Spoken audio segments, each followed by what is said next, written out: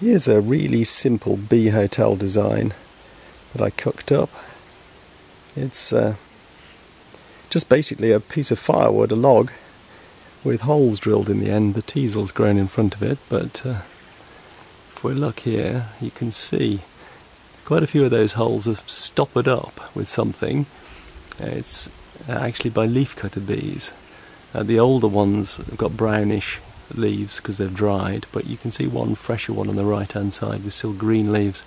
So there's a whole stack of baby leafcutter bees hidden in there, slowly developing. So all it is is is a, is a log, a piece of firewood with holes drilled in both ends, and then also a big hole drilled in the bottom and stuck on a stick, which is stuck in the ground. Really easy to make.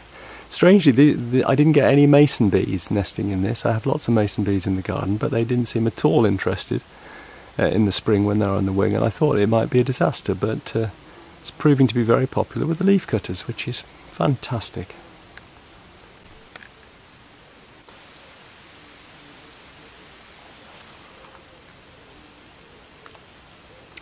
This is a leafcutter bee, just arrived. Oh. He dropped its leaf, poor thing. Maybe I disturbed it. I do apologise, Mrs. Leafcutter Bee. But that hole she's got there is more or less complete, you can see. She's kind of sealing it up, I think, at the moment.